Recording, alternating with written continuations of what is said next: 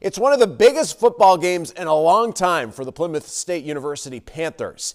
At 8 and 1, they will host UMass Dartmouth at noon on Saturday, the final regular season game. Now, whichever team wins will capture the conference title and earn an automatic bid to the Division III NCAA tournament.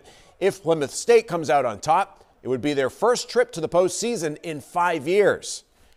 Well, I'd just be happy for the kids, especially uh, the fifth year guys who've come back and, uh, you know, to, to, to, try to make this happen. And, and, they've done a good job to get to this point. A lot of us haven't played in playoff games before, haven't done anything crazy.